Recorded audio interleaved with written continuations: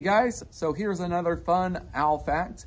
So George here, all right, um, if we were just sitting here minding our own business and if George was alive flying around and I didn't see him, I probably wouldn't even know he was there because owls have a really cool adaptation that actually are silent flyers. And uh, one of the few reasons why they are silent flyers is obviously they want to find their food source and want to be very sneaky, very stealthy.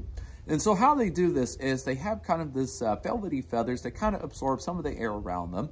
And also too, on the edges of their wing feathers, they have these things called fringes, which helps the air travel through the feather than against the feather. Because you ever heard chickens or ducks or turkeys, you know, when they flap their wings, you hear the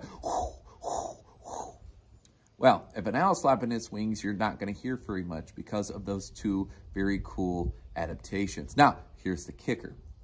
That having that kind of velvety um, feel to them, if they get wet, it does absorb a water a lot more than typically your other feathers. So um, if it's raining outside, owls are not going to be flying very much. It basically weighs them down too much. Um, so it's kind of a problem with some of our owl species that uh, are out in the big open areas. Uh, short-eared owls is a really great example of that. Um, they love prairie regions. So here in Marion County, Big Island Wildlife Area is a very good spot to find them. And they actually nest on the ground versus most owl species nest on top of treetops. So again, having that those cool feathers, but again, that disadvantage for the short-eared owls, again, if it rains, uh, it's kind of kind of troubling some for uh, for those guys. But they dry off relatively fast and uh, go along their business.